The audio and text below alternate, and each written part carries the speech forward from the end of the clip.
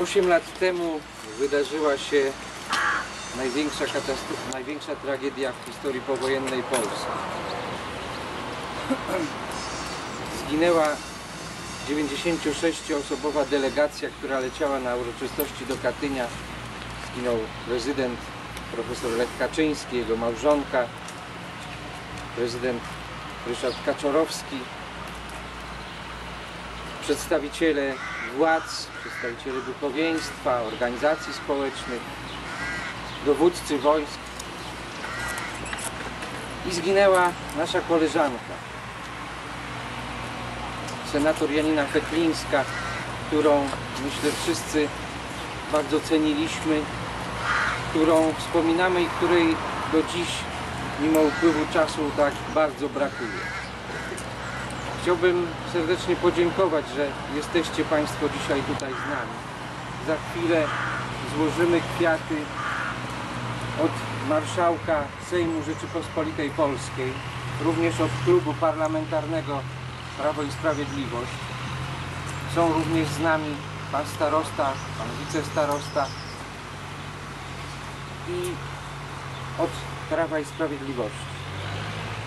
To ważne, proszę Państwa, że Państwo pamiętacie, pamiętacie o tej tragedii i pamiętacie o naszej koleżance.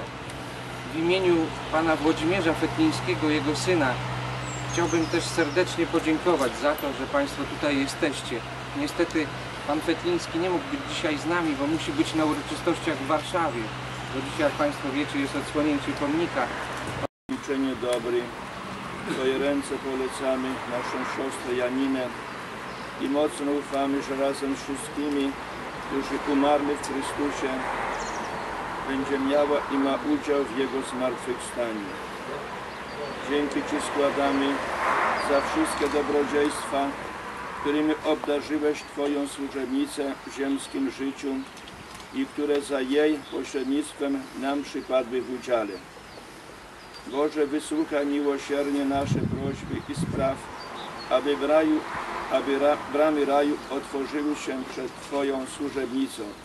Nam zaś, którzy pozostajemy na ziemi, daj moc, abyśmy się wzajemnie pocieszali słowami wiary, iż spotkamy się wszyscy w Chrystusie i na zawsze połączymy się z Tobą i z naszą siostrą i z wszystkimi, którzy w tej tragedii zginęli przez Chrystusa, Pana naszego.